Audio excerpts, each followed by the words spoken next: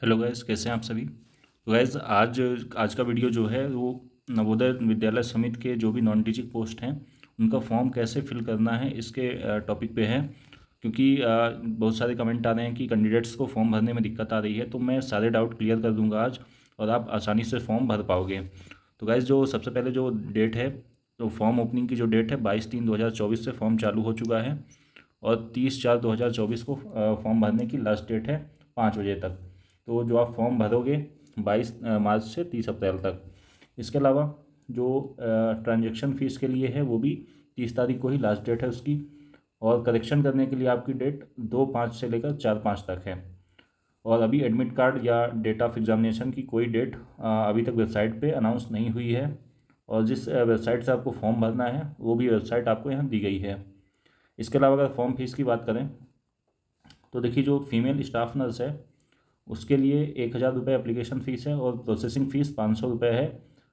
Total पंद्रह सौ रुपये, ये फ़ीस लगेगी जनरल ई डब्ल्यू एस और O B C N C L के लिए। और इसी पोस्ट के लिए जो S C S T category है P W D P W B D category है, उसके लिए केवल पाँच सौ रुपये टोटल फ़ीस लगेगी क्योंकि इनकी अप्लीकेशन फ़ीस नील है। और इसके अलावा जितनी भी पोस्ट हैं, उनके लिए पाँच सौ अप्लीकेशन फ़ीस पाँच सौ प्रोसेसिंग और एक हज़ार total fees general E W S और ओ बी सी के लिए। और जो S C S T category है, उनकी केवल प्रोसेसिंग फ़ीस लगेगी पाँच सौ रुपये तो अब आगे बढ़ते हैं कि फॉर्म कैसे अप्लाई करना है और आपको कौन कौन से डॉक्यूमेंट तैयार रखने हैं आपके। तो सबसे पहले जब आप फॉर्म भरना चालू करेंगे तो आपको रजिस्ट्रेशन करना होगा। ये देखिए वेबसाइट दी हुई है exams dot N T A dot A C dot in N V S पे। तो आपको सबसे पहले रजिस्ट्रेशन करना होगा वेबसाइट पर जाकर और उसके लिए जो आपके डॉक्यूमेंट लगेंगे, वो हैं देखिए पहला जो है आपका कंप्यूटर या लैपटॉप होना चाहिए प्रॉपर इंटरनेट कनेक्टिविटी के साथ।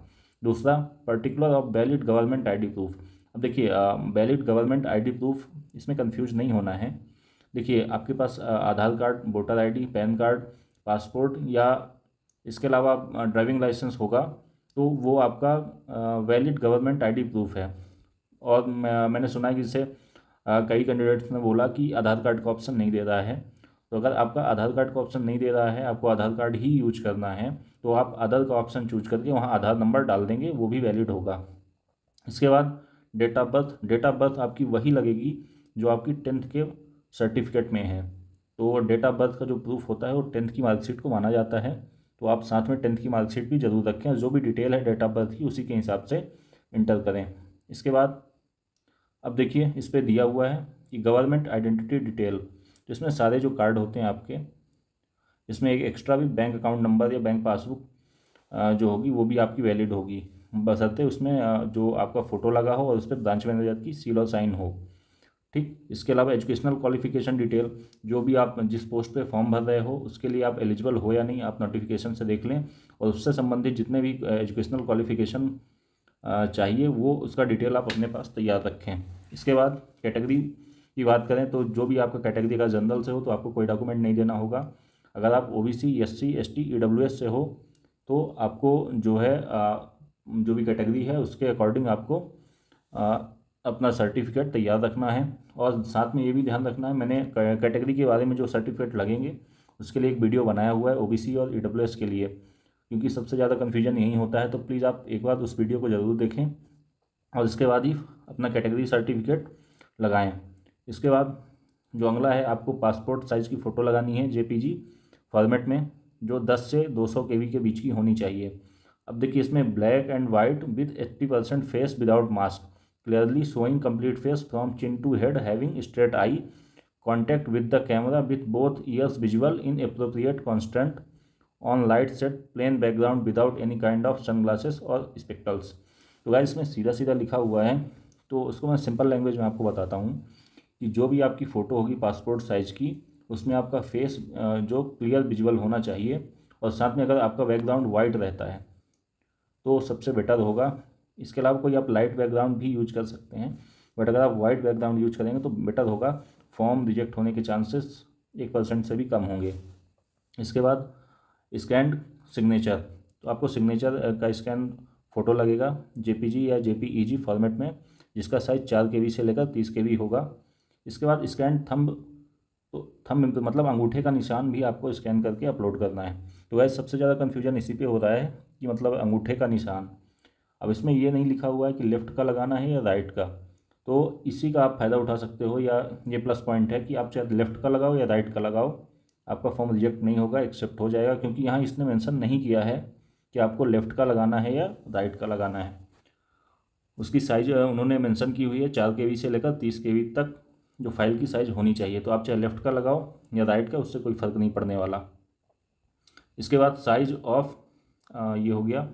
अब वैलिड ईमेल आईडी, आपके पास एक वैलिड ईमेल आईडी होनी चाहिए, एक वैलिड मोबाइल नंबर होनी चाहिए जिसमें ओटीपी आएगा आपका। और जो, देखिए अब इसमें एक चीज़ और लिखा हुआ है कि, देखिए whether they fulfil the eligibility condition for the examination as prescribed in order to avoid correction in particulars at a later stage the candidate should exercise utmost caution while filling up the details in the application form इनके कहने का मतलब सीधा सा है कि आप form भरने से पहले पूरी जानकारी एलिजिबिलिटी क्राइटेरिया और जो भी डॉक्यूमेंट लगने हैं उनको प्रॉपर उनके बारे में पढ़ लें नोटिफिकेशन को ध्यान से पढ़ लें ताकि जो करेक्शन आपको ना करना पड़े मतलब ऐसी नौबत ना आए कि आपको बार बार करेक्शन करना पड़े फॉर्म में। इसके बाद, अब देखिए यहाँ पे सेम चीज़ें लिखी हुई है। अब इसमें जो अपलोड करना है आपको वो लिखा है इन्होंने। ये रिसेंट फोटोग्राफ अपलोड करनी है कैंडिडेट सिग्नेचर थम इम्प्रेशन और कैटेगरी सर्टिफिकेट मैंने आपको ऊपर बताया है कि कितने साइज़ का होना चाहिए, क्या होना चाहिए, कैसे करना है, आपको मैंने बता दिया है। तो अब देखिए, जब आप अप्लाई करेंगे तो सबसे पहले होगा रजिस्ट्रेशन करना होगा ईमेल आईडी और मोबाइल नंबर से। और इसके बाद आपको जो डॉक्यूमेंट है, वो अपलोड करने हैं प्रॉपर साइज़ में। और तीसरे नंबर पे आपको फ़ीस पे करनी है net banking debit card credit card और इसके अलावा आप यूपीआई से भी कर सकते हैं। साथ में आपको एक चीज़ और ध्यान रखनी है कि जैसे पेमेंट आपने किया पेमेंट आपके फ़ोन से सक्सेसफुल हो गया है बट उसमें नहीं दिखा रहा कि फॉर्म की फ़ीस नॉट पेड दिखा रही तो आप चौबीस घंटे का इंतज़ार कर लें। चौबीस घंटे के बाद आपका जो फॉर्म फ़ीस का स्टेटस है वो क्लियर हो जाएगा। अब इसके बाद जब आगे देखेंगे तो ये देखिए the final submission of online application form will remain incomplete if step two and three are not completed आपको फॉर्म भरते टाइम ये ध्यान रखना है, कोई भी स्टेप आपको छोड़ना नहीं है। अगर आपने कोई एक भी स्टेप छोड़ दिया तो आपका फॉर्म रिजेक्ट हो जाएगा और इसके बाद कोई भी आपको चांस नहीं मिलने वाला है फॉर्म को दोबारा भरने का। और दूसरी बात, फ़ीस आपकी रिफंड नहीं होगी, जो एक बार कट जाएगी, वो आपकी कोई फ़ीस रिफ़ंड नहीं होगी। और इसके बाद आगे लिखा लिखा गया है कि टू पॉइंट सेवन में कि जो आपका फॉर्म भरेंगे आप आप उसका एक प्रिंट आउट ज़रूर रख लें। और इसके बाद प्रूफ ऑफ़ फ़ीस पेड का। मतलब आपने जो फ़ीस पेड की है, उसका जो रिसिप्ट होगी, आप अपने पास रखें।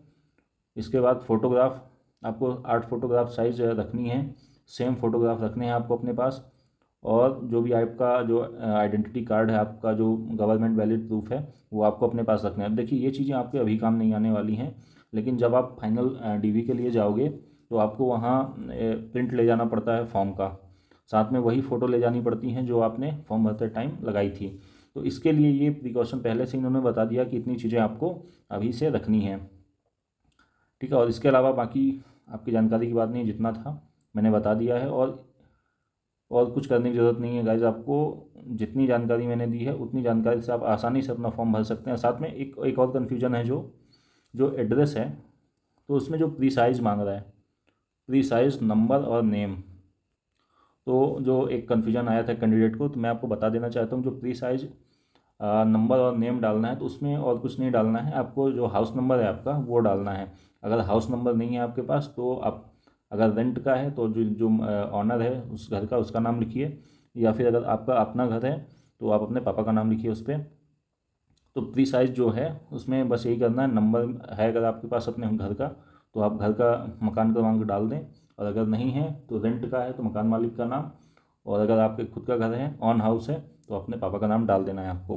तो गाइज़ ये थी जानकारी नवोदय नॉन टीचिंग स्टाफ का जो फॉर्म फिल हो रहा है उसके लिए और साथ में ऐसे इन्फॉर्मेटिव वीडियो के लिए हमारे चैनल को सब्सक्राइब ज़रूर करें।